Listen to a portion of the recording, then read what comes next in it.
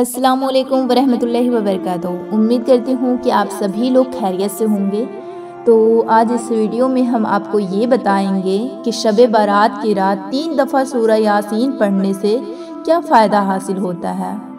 ये फ़ायदा जानने के बाद इन आप शब बारात की रात तीन दफ़ा सूरह यासीन ज़रूर पढ़ेंगे। शब बारात साल में एक दफ़ा आती है। लिहाजा आपसे गुजारिश है कि दीगर वज़ाइफ और नवाफिल के साथ वक्त निकाल कर इस रात को तीन दफ़ा शुर यासीन भी ज़रूर पढ़ें। शब बारात की रात तीन दफ़ा शुर यासीन पढ़ने के बाद दुआ करें और अपने लिए दुनिया, आखरत की भलाई मांगें। शब बारात की रात तीन दफ़ा शुरा यासीन पढ़ने से ये तीन फ़ायदा हासिल होता है। नंबर एक, सबसे पहला फ़ायदा तरक्की रिस्क यानी रिस्क में बरकत होती है, माल व अशबाब बढ़ते हैं। और दूसरा फ़ायदा, उम्र में इजाफ़ा होता है, यानी ज़िंदगी में इजाफ़ा होता है। और तीसरा फ़ायदा ये है कि इंसान आफतों और बलाओं से महफूज रहता है। सुबहान अल्लाह।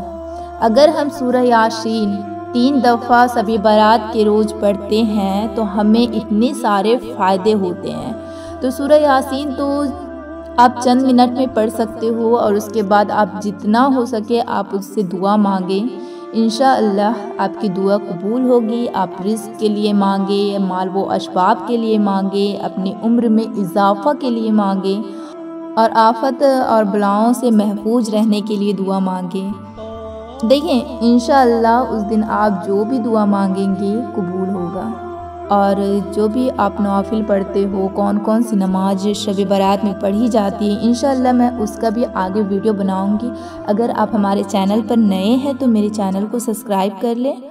और अगर आपको ये वीडियो पसंद आई है तो आप वीडियोस को लाइक करें और आगे आप किसी और के पास भी शेयर कर सकते हो कि वो भी शब बारात के रोज़ सूर्य याशीन पढ़कर अपने जो भी दुआ है वो मांगे और इन उनकी भी दुआएँ कबूल होगी और साथ ही साथ आपको भी अज़र मिलेगा। ओके तो मिलते हैं नेक्स्ट वीडियो में। अस्सलाम वालेकुम वरहमतुल्लाहि